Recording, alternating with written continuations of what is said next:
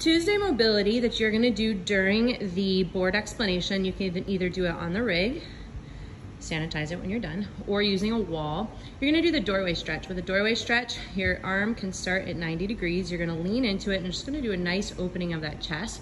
And that arm can travel up, finding different, different positions, leaning into it, and it can finish out overhead, and then it'll go to the other side.